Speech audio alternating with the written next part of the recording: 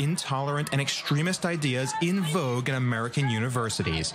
Three professors and researchers spent a year submitting a series of hoax papers, including a rewrite of Hitler's Mein Kampf to top academic journals to see if they would accept and print history's worst ideas, so long as you change the targets. This isn't like we just took Mein Kampf word for word and swapped out uh, the Nazi Party or our movement with intersectional feminism, although that was the first stage of writing it. There's a lot more that went into it. So the main part is that much of Hitler's tone, language, and mostly his politics of grievance were preserved. The trio of scholars submitted 20 papers over the course of a year before being caught.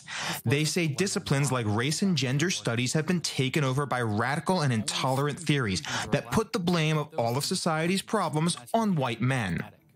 Another paper submitted suggested that racial collective punishment was a way to correct past inequality. It was sent back for revisions, but not for the reasons you might expect. They said that the issue was that we were being too compassionate, therefore, we were recentering the needs of the privileged students.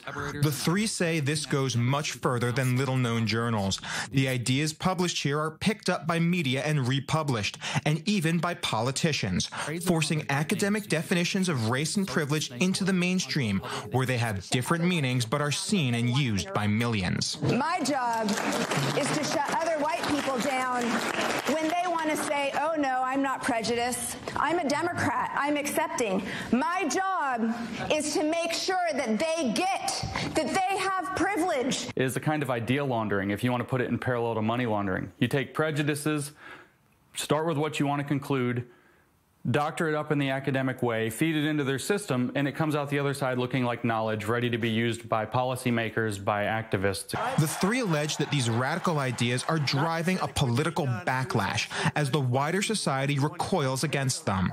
An even smaller subset becomes politically radicalized and reactionary against these ideas.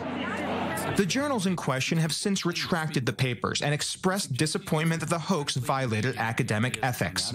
The scholars responsible for the hoax say they expect to become academic pariahs. But in an era of fake news, fake knowledge may be just as big of a threat.